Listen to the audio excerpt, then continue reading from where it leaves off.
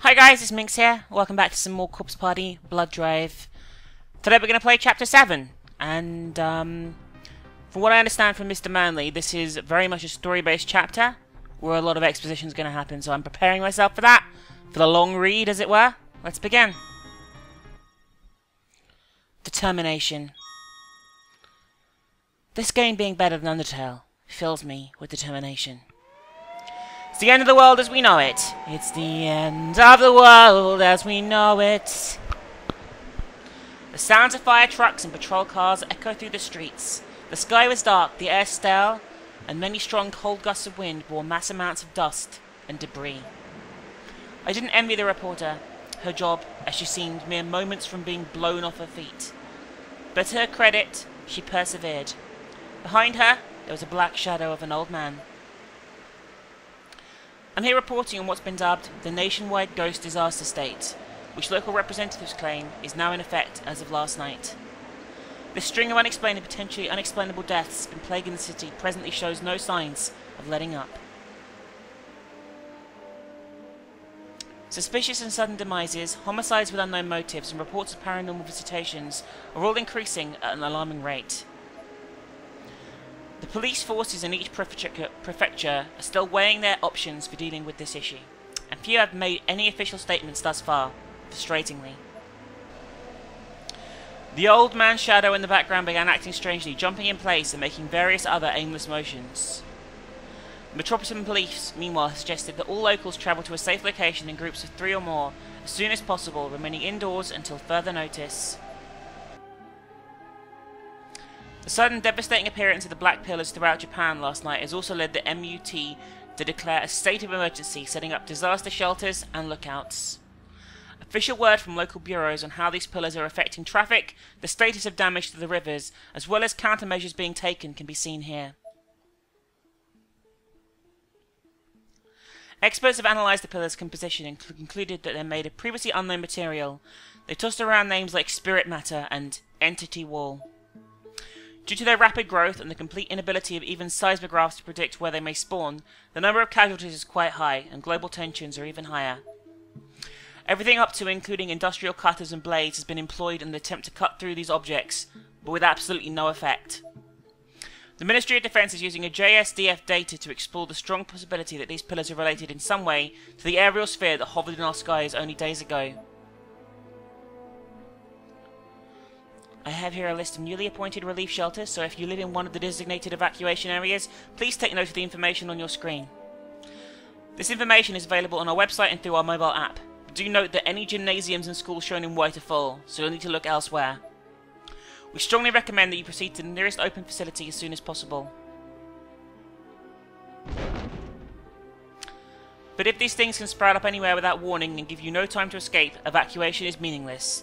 There's not a damn thing anybody can do to stay safe. Whether you die or not is just dumb luck. When the hell are the police going to get off their asses and make a statement? Are they scared of public outcry? Are they hiding something? The middle-aged announcer was yelling at the top of his lungs, and in an absolute frenzy. He kicked his studio desk to the ground. A black shadow of a woman could be seen behind him.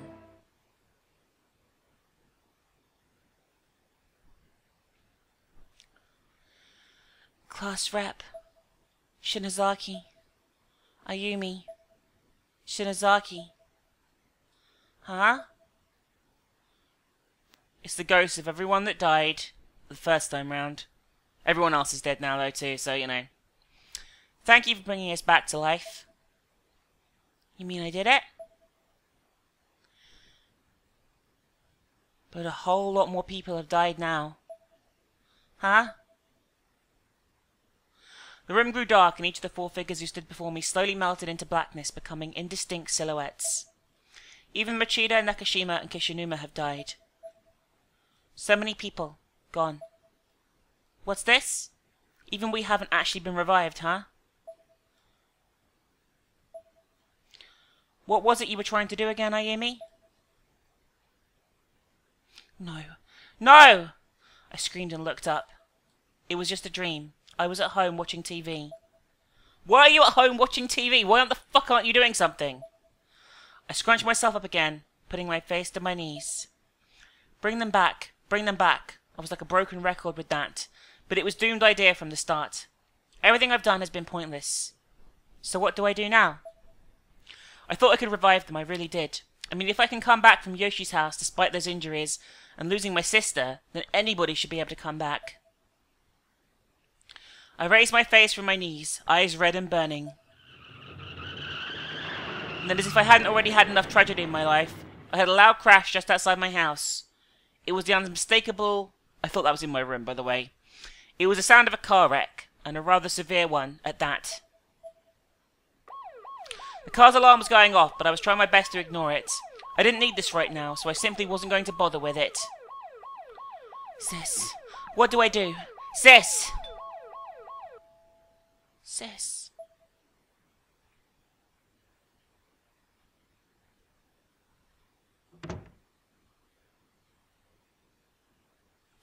Up next, we've learned the CEO of PL Promotions Co. Inc. is among those who've gone missing.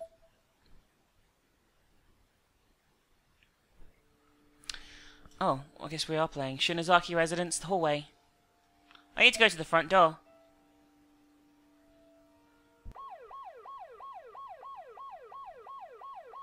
That look of determination there. The car alarm outside was still going off, and it was getting harder and harder to ignore it by the second.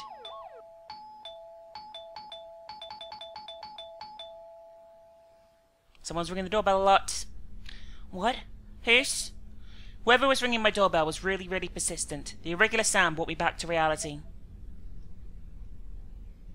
I crept over to the peephole and silently looked through it to see who'd be visiting me at this hour. On the other side of the door stood a man I didn't recognize. He had short hair and was pressing the chime frantically, as if his life depended on it. Who is that? I was kind of creeped out. I really shouldn't open the door. I moved away from the peephole.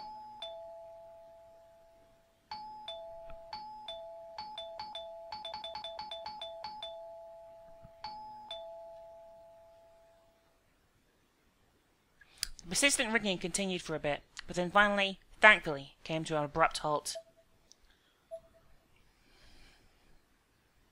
I slowly crept back to the peephole and took another look. The man was still there. He was just pacing back and forth in place, in front of a house that, for all he knew, had no occupants. After another short while, he approached the door again and immediately put his eye right up to the outside of the peephole. If I move now, he'd totally know I'm here. The man moved his head around but quickly replaced it with his finger, which he swirled around and round inside the tight space, as if trying to reach my eye, or poke it out. Then he stepped away from the door, I could have taken this opportunity to slowly move away from the peephole, but I was oddly transfixed. Thank God. Now all he has to do is leave. Of course, the second I thought that, he came back to the door yet again. And yet again, he skipped the doorbell and went straight for the peephole. What does he want? Why isn't he saying anything? This is really creeping me out. Well, fine then. I'll just open the door and give him a piece of my mind. I grabbed the doorknob and was moments away from following through with that plan, when suddenly... Ayumi. Sachiko? Don't open it. What? He's dead. Sachiko. I slowly turned to look at her. The Nirvana is the world of the dead, and that world is coming here.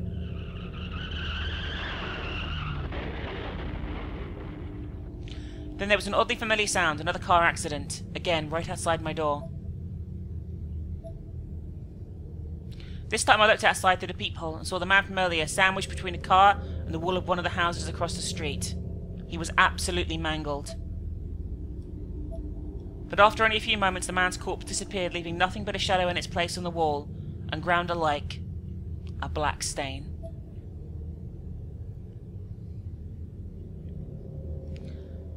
Ah! What is this? What's happening to the world? Not that I even really had to ask. Is this from breaking down the walls of the Nirvana? I wasn't just asking myself, I was asking Sachiko, whose presence still remained just behind my back. It obviously fucking is. We we've established this as a key plot point. Like a load. Like this is this is so fucking obvious. Ayumi, please just Jesus Christ, stop being so fucking dumb. Why aren't you trying to do something? Why are you watching TV at home? Why are you even at your fucking house? But she looked up at me with sad eyes. That person just now was one of the deceased, and if he turned into a black stain then...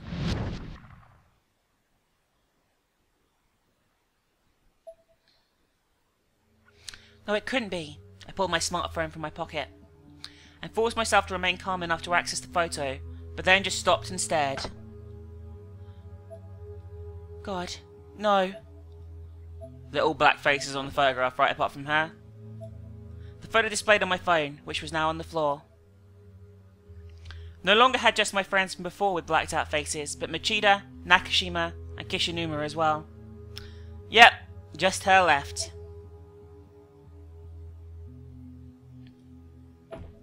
I pounded the floor with both hands and shuddered violently. You saw them die! We have established they died. Thou shalt repent. Oh, the end of the world is nigh. Oh, God shall not forgive those who art unclean and indiscreet. Oh. Some cultist group was speaking on TV. I guess the news must have ended at some point when I wasn't paying attention. The end of the world, huh? This time, I was just plain talking to myself. Um, what the fuck are you doing here? That's right, the end. Who'd ever thought the last remaining Yagura could have ended...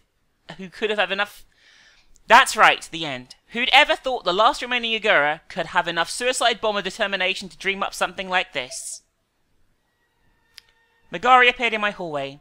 I had no idea how long she'd been there, nor how she'd gotten in, or how the fuck she's alive. I noticed she still had her heels on, though. And nothing else.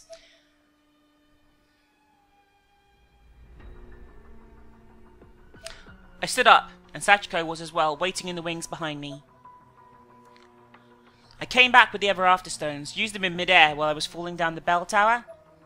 Heavenly Host is totally destroyed though, so these are just plain ordinary stones now. To demonstrate, Megari snapped the two together. Nirvana, I summon the dead. See? Probably flinched, but she was right. Nothing happened.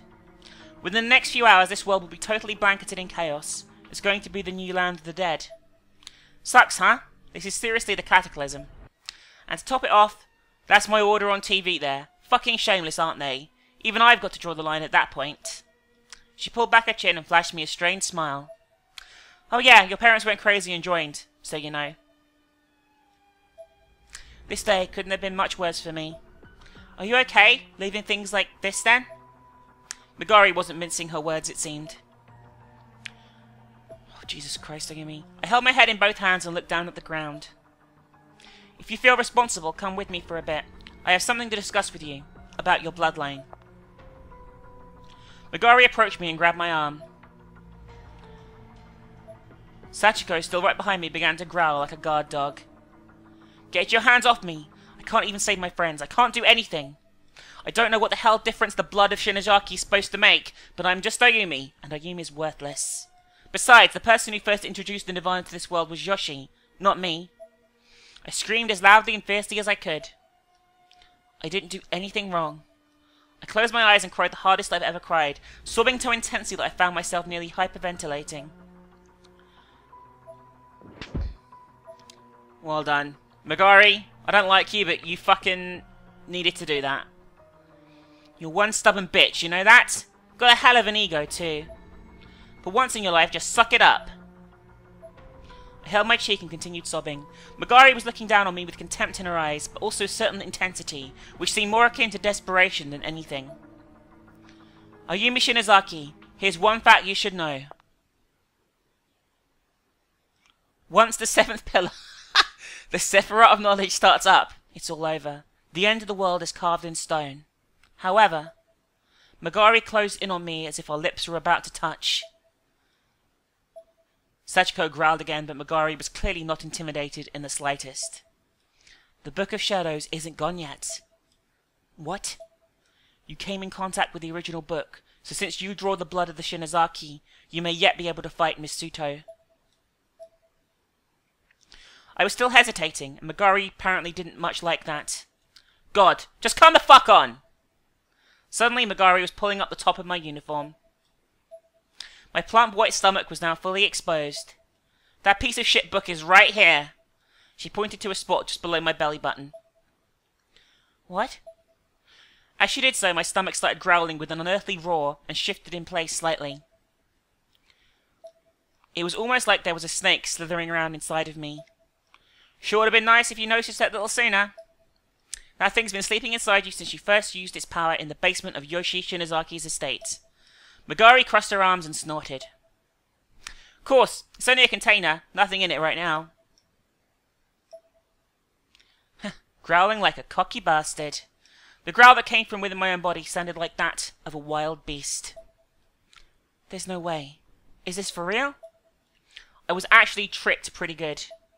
Originally, the Elders sent me to support you in your efforts to obtain the Book of Shadows from that other realm, among other things. Okay. But of course, that still means I was planning on stealing it from you as soon as you got your hands on it. Now, though, that doesn't matter. If the world's going to pop, there's not really any meaning in becoming the heir to the Martubas anymore, is there? And that just fucking sucks. It all goes back to Misuto. Misuto. It's that little fucker thinks he's won the war, He's got another thing coming. Don't you just want to slaughter him like a pig right now? You should stop being such a pussy and look at all the things you're capable of. There'll be time enough to abandon all your potential after you're dead. My eyes began to well up yet again. Are you saying there's still something I can do? Megari's expression turned deathly serious. Do whatever you can to bring that Book of Shadows out your body and gain control over it. If the book recognizes your determination, it should extract itself naturally. And if you have the power of the book at your disposal, it'll lead the way right back into Misuto's Nirvana. I could only stare incredulously at my abdomen. Megari took this opportunity to open my front door, again to illustrate her point. Outside, the weather was still completely anomalous, with hurricane-like winds and debris clouds everywhere. The clouds up above, too, were moving abnormally fast through a disconcertingly blood-red sky. Every few seconds, a sound not unlike a spark plug firing could be heard echoing from the distance, as another black flame ignited and burned itself out in some random spot. I mean, you're going to lie down and die with this world either way, so what have you got to lose? Show me how tough you are while you still got the chance. Just remember, the book was born from black magic. It adores cruelty and blood. With those parting words, Megari disappeared into the city, the sounds of her heels clacking softer and softer until they were no longer audible at all. Sachiko and I could do nothing but see her off.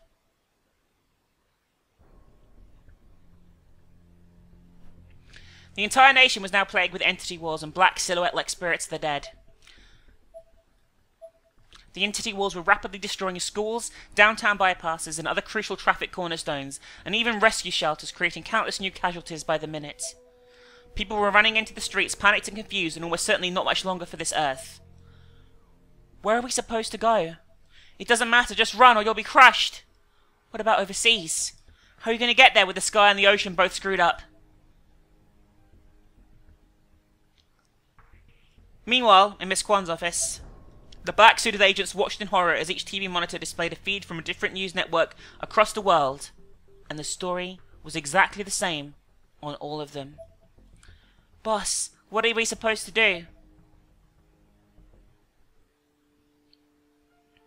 How is a book supposed to recognize my determination? What the hell am I supposed to do? So, how do I show this book my determination? Oh, it adores cruelty. Do we cut ourselves? Okay, no reason to go upstairs. I guess this is the room. There's a save point here, probably should use that.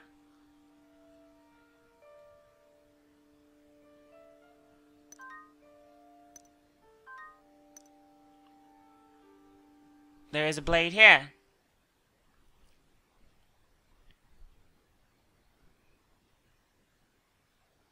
Sis, give me strength. In front of the mirror, Dresser sat Hinoe's zodiac dagger. I gripped it in terror, closed my eyes, and started shaking. Do whatever you can to bring the Book of Shadows out your body and gain control over it. Just remember, the book was born from black magic. It adores cruelty and blood.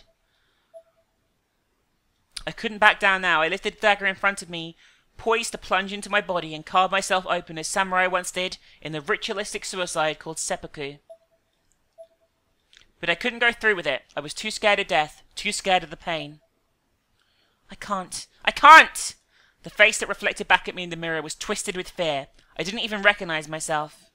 But I could see in those eyes all the weight that had been put on my shoulders, all the responsibility I'd been forced to bear. I'm a coward. I'm small and weak. The world doesn't need me. I won't be missed. But I can make a difference here and now. Ah! My mind was made up. I lifted the dagger again. Only to bring it halfway to its destination before halting its descent once more. No matter how determined I was, no matter how strong my conviction, this was literally suicide. I knew what had to be done, but knowing and accepting are two different things. I began crying like a baby. This was the most afraid I'd ever been in my entire life, and almost certainly the most afraid I ever would be. At this point, the only way I'd be able to go through with it was to clear my mind and let my arms make the motions automatically. And before I knew it, that's exactly what I did. Jesus. It's most likely I wasn't thinking about it, or anything else for that matter, that the dagger found absolutely no resistance. It was like applying excess force to slice a cake. For a very brief moment I felt nothing, but then the convulsions started, first in my abdomen, then quickly spreading up the rest of my body. My abdomen was now spasming and constricting involuntarily. And the rest of me wasn't faring much better. My entire body was in total chaos. Jesus. The extent of my agony, I felt at that moment, was absolutely impossible to convey. It was all-encompassing. I was utterly incapable of focusing on anything else. My lower body was spewing bright red blood, thick black blood, and an unknown yellow substance, all of which were blending together into a slurry that was, at its core, my life essence. Ugh. This went far beyond anything I could have ever imagined. The sheer shock of it rendered my body a mind jumble that I simply could not untangle. I knew there was a reason I'd done this to myself, something I absolutely had to do, and it was crucial, but regaining through cognitive function to do it would be a challenge. I can't do this. To cut across yet and remove the book, there's no way. My head was swimming as I tried beyond all reasonable measure to hang on to consciousness, just long enough to complete the task at hand. I could see my face in the mirror, but only just, as the blood that had been spurting from my abdomen had largely glazed it over. It was truly a frightful sight, comparable if not to more comparable if not more disturbing than anything I'd seen in Heavenly Host. I can't do it. I felt feeble, helpless, and the face in the mirror was smiling at me for it, darkly, obscenely. You can't do it. Jet black crows flew by outside the window, and in that moment a fire sparked within me. Feeling oddly resolute, I gripped the dagger jutting out from my abdomen.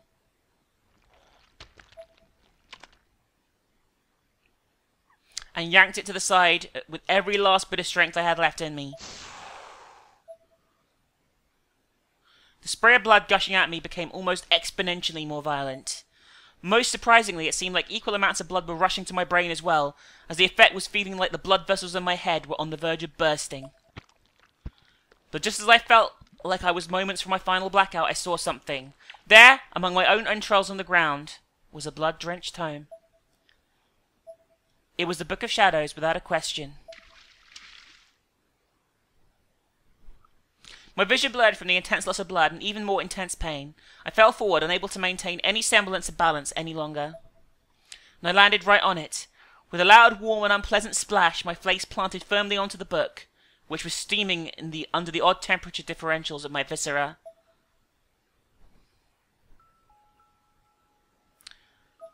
I awoke with a start. I was still in Hinoe's room. Instinctively and frantically, I looked down at my abdomen. There I saw a scar resembling the ones I almost died from during the blowback at Yoshi Shinozaki's house, runic lettering and all. But that was it. The bleeding had stopped. In fact, there was no blood anywhere in the room, and on the floor in front of me sat the Book of Shadows. Not a copy, but the original. This is...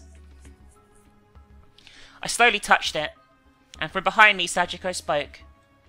The book has acknowledged you as its owner. She was staring at me with a docile, almost reverent look in her eyes.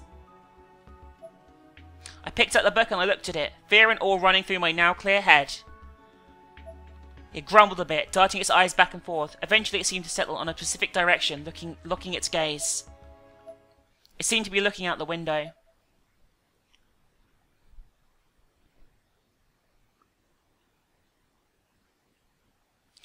What is that? Most likely the entrance to Nirvana. Wait, Kisaragi Academy is in that direction. Guess we're going to the Nirvana, guys.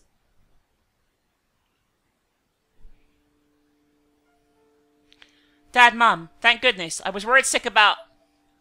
The world has ended. The world has ended. Dad, Mom...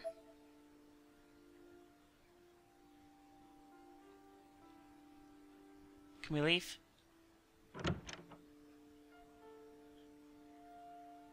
Shouldn't we just be going to Kisaragi Academy with the Book of Shadows?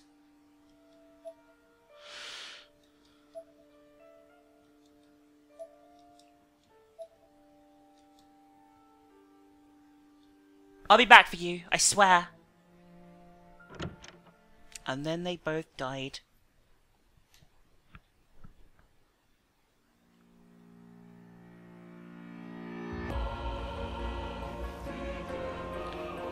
What the fuck?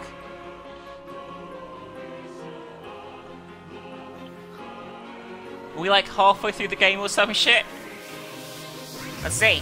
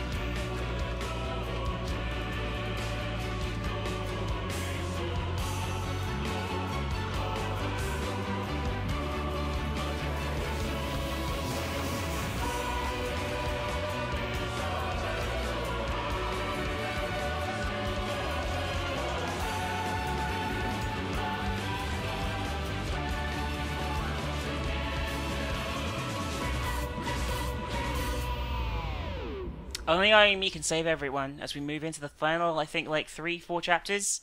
Let's see what happens next. Alright.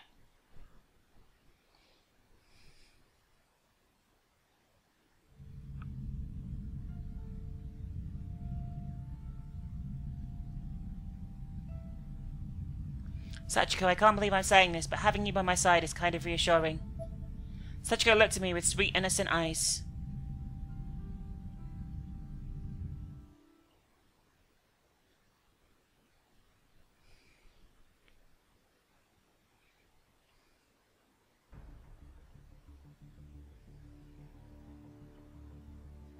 When I arrived at Kisaragi Academy, I got a much better look at the phenomenon. It was like a whirlpool with a red, dully shining hole in its centre. Was this the entrance to the ever after? Beyond that is the Nirvana. Kinetic magic? Like how witches fly? No way!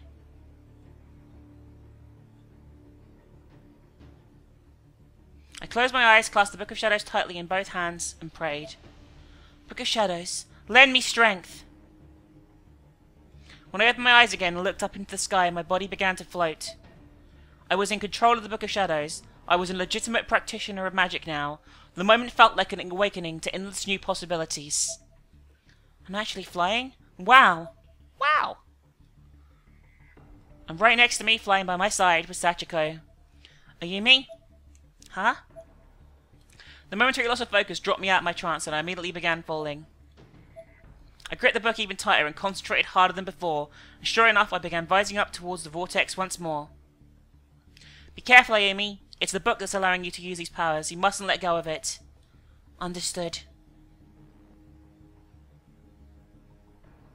No, it's like Mary Poppins with more death.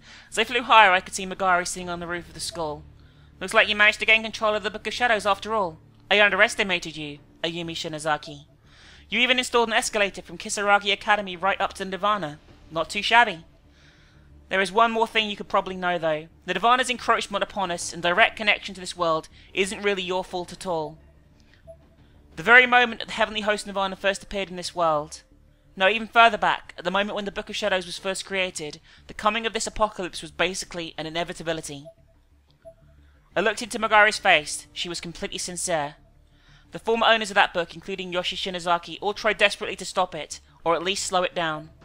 And when they learned they couldn't, they left the fate to the next generation instead. That's why the book continued to be handed down through the ages. I see.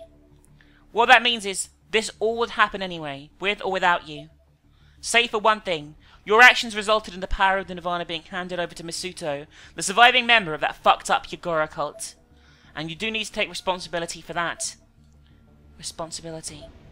You have the real Book of Shadows, but all the power of the Nirvana, broken up and distributed through Heavenly Host, has been absorbed by Masuto's fake book. If you can get it back and seal it in that one, you can easily outclass him. And if you can go one step further, taking in the Nirvana's core, then that book will be complete. Now is the time to strike. Go in there and fuck him up. Before the world ends, let's see what real power tastes like. I'll be watching. Megari grew smaller as I climbed higher and higher, and as I looked up, I could see the threshold looming even larger, poised as if to wrap itself around me. Ayumi? Huh? Are you scared? Well, you should be, because this is all a prank! Ah! Are you scared of dying? I don't know. Am I? I smiled at her, and to my surprise it was a genuine smile. Somehow or another, I was feeling very calm. Sachiko looked at me with wide eyes. What's wrong? She turned away briefly, then looked at me once more. It almost seemed like in that brief moment she changed expressions, in much the way someone would change a suit. Oh, Ayumi, what you should be scared of is Sachi, and the person in the Nirvana's core. Don't let your guard down. The person in the Nirvana's core? It isn't Misuto? Oh, yeah, there's someone else. I looked back to find myself practically right on top of the hole in the sky that stood in front of the abnormally huge red moon.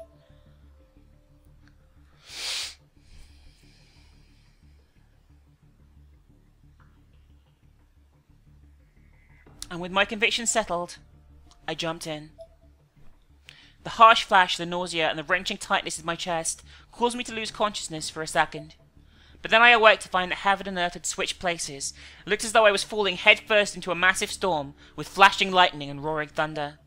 It almost seemed like I was previewing what the world would look after its destruction. In the sky, there was an enormous face of a doll, and the walls around me were all made of flesh. Lovely.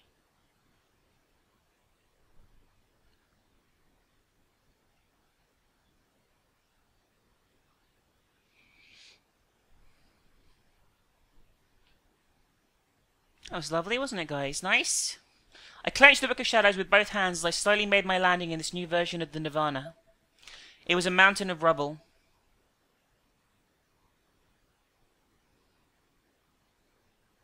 What is this? Everything is broken to bits.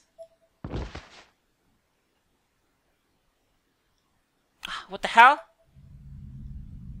Ayumi, are you okay? Yeah, I can handle this much at least. I did stab myself. I studied carefully, found my footing, and pulled myself back up to my feet. This was an entirely different heavenly host. It bore absolutely no resemblance whatsoever to any of the version of the school we had traversed previously. Heavenly Host Elementary turned into this? Where are the others? Mochida, Nakashima, Kishinuma, Miss Kwan, Aiko! I called out to my friends, but received no answer. All I could hear was the rumbling and twisting of the air around me.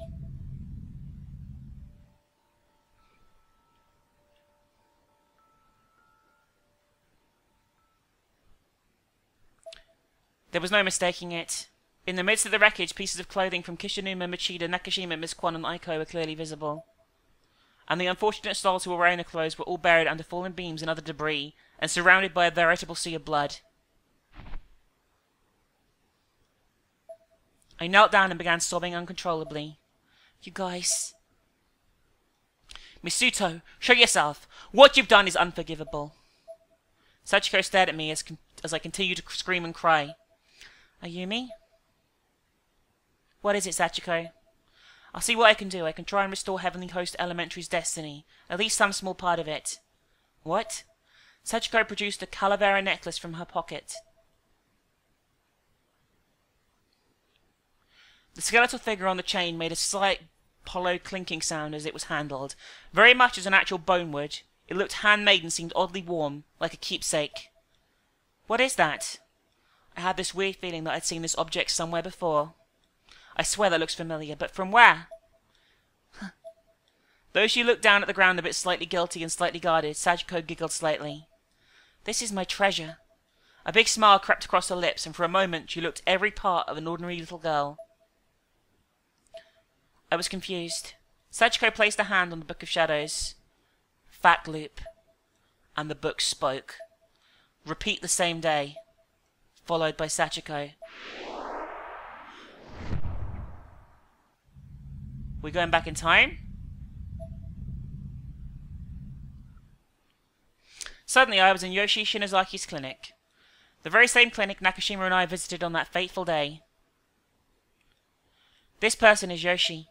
I was viewing Sachiko's memory of an event from long ago. Yoshi was writing something in her journal. I've analysed the anagrams and determined that all the spells written in this book are nothing more than theories. Not one of them has ever been properly tested. There are no success rates, there's no data of any kind. So why I was naive enough to attempt something so foolish, I devoted everything I have to my blood, my soul, to an end that was destined never to succeed in the first place. And now that spell's failed and Nirvana has escaped from the book, I've created a whole other dimension. Worst of all, the deceased who become trapped in that dimension are erased from existence in our world. Sachiko came into the room from the back. Her eyes met with Yoshi's and she smiled. However, since I was able to suppress the strain of Anna, Sachiko stood obediently by her mother, wearing the white dress we'd seen her in in Heavenly Host.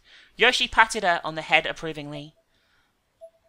Sachiko then coughed up a fine black mist, but sucked it back into her mouth like a carp. I could at least rescue one person's existence from that shadowy, forgotten fate. The face on the image was blackened out like those of Seiko and the others. However,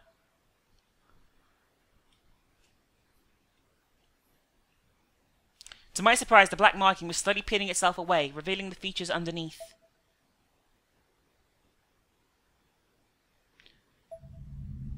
What the fuck is going on?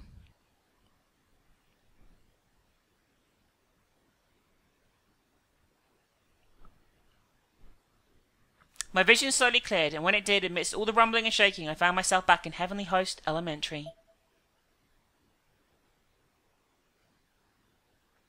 Oh, then promptly, Sachiko collapsed on the ground. Sachiko! Without thinking, I picked her up and held her limp, light body in my arms. She must have used up her spirit energy as she was clearly drained. She was breathing, but only very lightly. She's dead! Poor girl seemed to be in pain. Wait, am I actually holding Sachiko? Sachiko was real. She had to have been, or I wouldn't have been able to hold her onto her like this. She seemed injured, but not in any traditional manner. There were cracks running through her body, each one emanating an earthly blue, almost gaseous light. Meanwhile, the school itself was also cracking and breaking all around me, making an incredible noise. The roof above began to crumble away, providing glimpses of the real world. And incredibly, the entity walls hadn't spawned there yet. We're back. This is before everyone died! Sachiko, hang in there! Oh, Yumi, I'm sorry, I couldn't revert more time. No, Sachiko, thank you. That was amazing. You did great. I could hardly believe it. I just, I just complimented Sachiko, of all people, on a job well done. You're praising me? Her newly formed physical body was rapidly beginning to evaporate into mist. My voice was trembling, and though I suspect it was less with fear and more with confusion. Yes, that was incredible. You're a good girl, Sachiko. She looked up into the sky, eyes beginning to well with tears. She was struggling to speak soon. She wouldn't be able to at all. I wanted to apologize. What? She barely had any voice left, but was persevering nonetheless. This was clearly something she didn't want to leave unsaid, no matter what. I know you can never forgive me, but I wanted to apologize anyway. And with that, she began full on crying. Sachiko! I couldn't help doing the same. I killed a lot of people. I'm not a good girl. You shouldn't praise someone like me. The tears were streaming down my face now. Sachiko's voice was so mournful, so genuine. But you just saved a lot of people now too, so thank you. A massive earthquake shook the ground. Sachiko looked scared, so I patted her head and hugged her tightly. She then looked at me squarely in the eye, gripping her calavera necklace tightly in her hand, as if it were a rosary. It's strange, isn't it? What is? Once you know you did right, passing on isn't so scary anymore. Sachiko. Ah! Sachiko and the blue light alike both disappeared completely. She was gone. The beginning, the being I was hugging moments ago no longer existed. All I could do was clench my fists and mourn. The look on Sachiko's face when she asked if I was scared of dying kept flashing through my head. Sachiko, you were the one who was scared, weren't you? I kept my head hung low for a moment, then stood up and wiped the tears from my eyes. Accompanying the sound of rumbling, one single entity wall now stood in the real world. The cycle was beginning anew. Watch over me, Sachiko. One Shinozaki to another. Let's stop that cunt.